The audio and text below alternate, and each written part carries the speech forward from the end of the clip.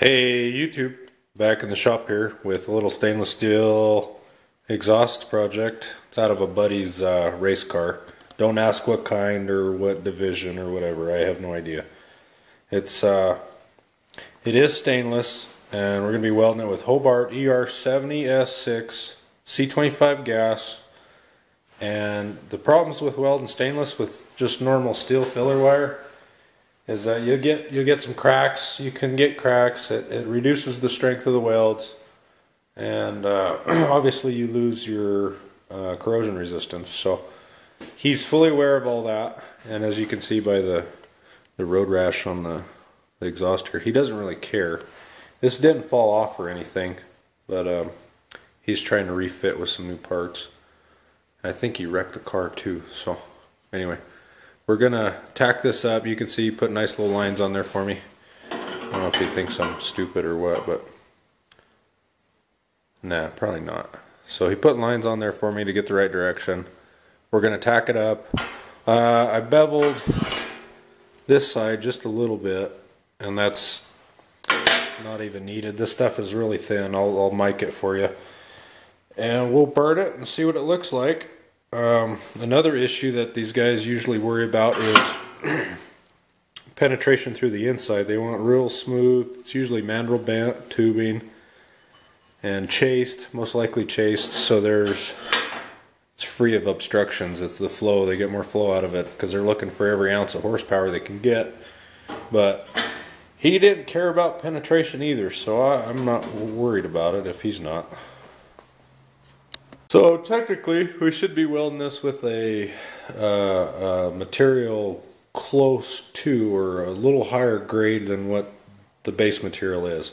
If I'm guessing, this is probably 304 um, stainless, so we would probably weld it with a 308 or a 309.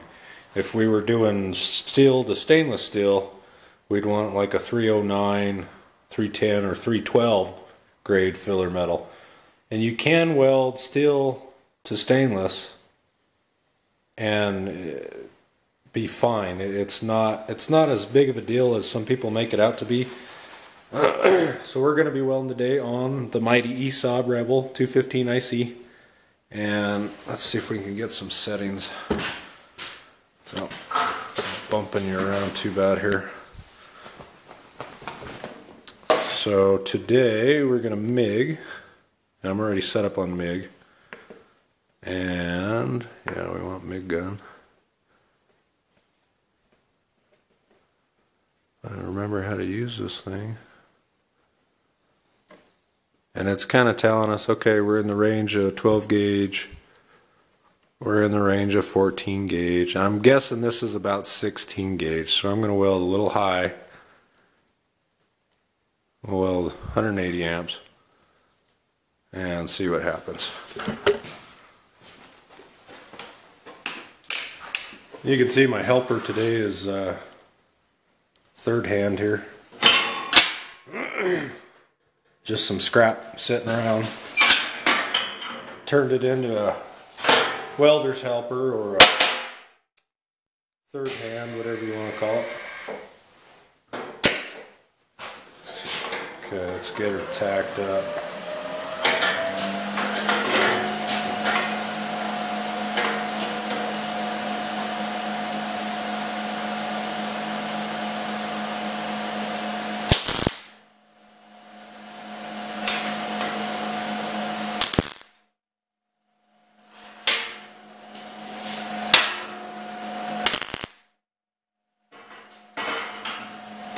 So the problem I've been noticing with the last time I worked on this mess of his is the bent tubing doesn't always line up perfectly. So as it's going through its different uh, dimensions, geometry here, it's almost like uh, you get different diameters as it's going along. I don't know if that's from the angles or just the way they they manufacture this stuff, but Got a little bit of an edge here.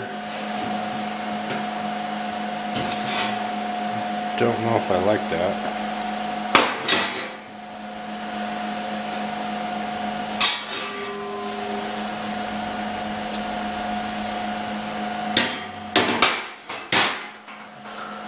Let's see.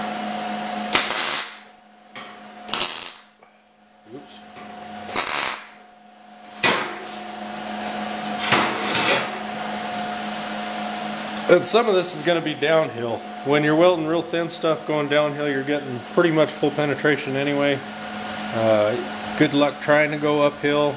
I know the structural guys out there pulling their hair, hair out going, no, don't do it. But welding downhill on real thin stuff is not a problem.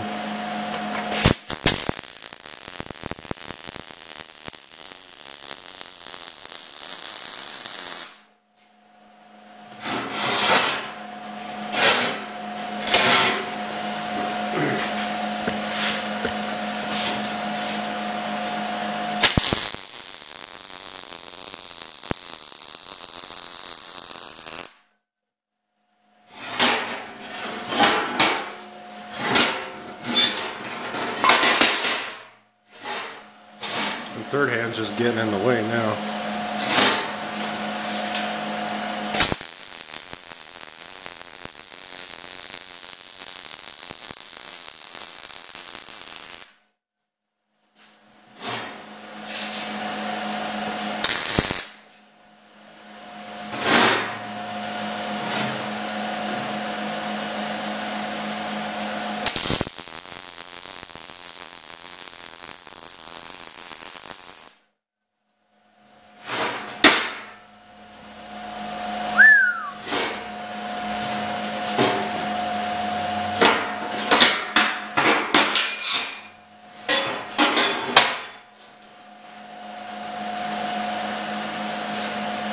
See that guys? I burned a hole.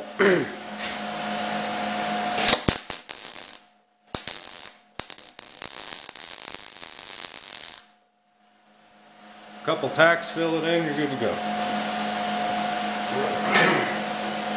Now like I was saying earlier about the penetration on the inside. Oop, where are you? You can't see it. But I can see penetration pretty much all the way around inside of there. So it's not going to come off. It could crack years down the road. By then, he'll probably have wrecked the car 14 times, so I think we're okay. That was our little project for the day. Thanks for watching. Subscribe, comment.